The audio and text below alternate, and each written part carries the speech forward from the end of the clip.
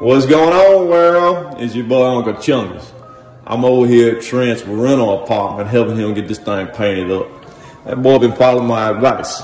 He saw that Uncle Chungus loved to do real estate. He said he gonna get in the game too. So we over here, I'm just helping him out, get, you know, giving him some some labor. He gonna paint that trim back there. He gonna paint all that white today. All right.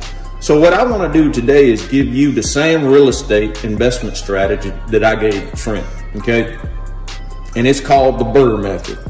B-R-R-R-R. Now you ready for it? Here it comes. So what the B stand for? The B stand for buy.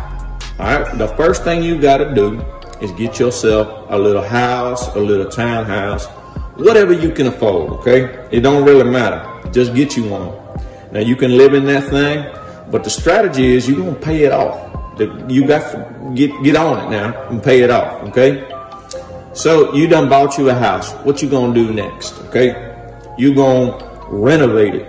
All right, you gonna renovate it, make it look decent, make it look like something you want to live in. Okay, don't don't let it be nasty. Okay, so you gonna renovate that thing, and the uglier it is, uh, the cheaper it's gonna be probably. Okay, but don't get too ugly. You know what I'm saying? Don't get it too don't get it too busted up.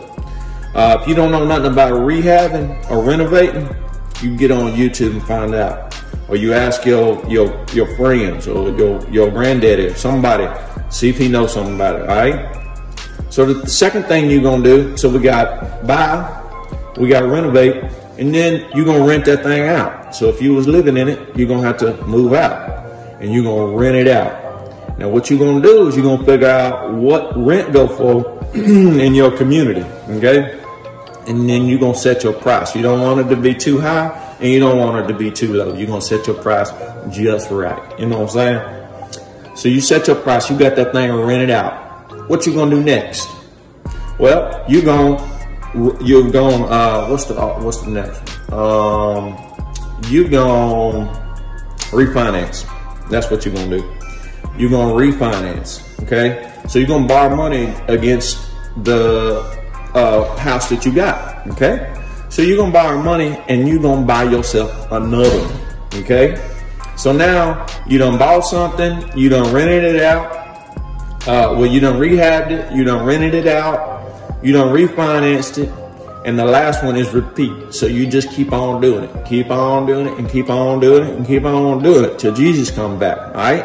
And then when he get back, we all gone. You know what I'm saying? We all gone. It don't even matter. This stuff don't even matter no more when Jesus get back.